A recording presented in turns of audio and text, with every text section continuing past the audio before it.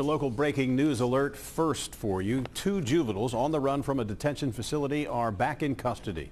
The boys ran away from a minimum security facility on Turner Road in Piner at about 1.30 this afternoon. A dog and a helicopter were used to search that portion of southern Kenton County.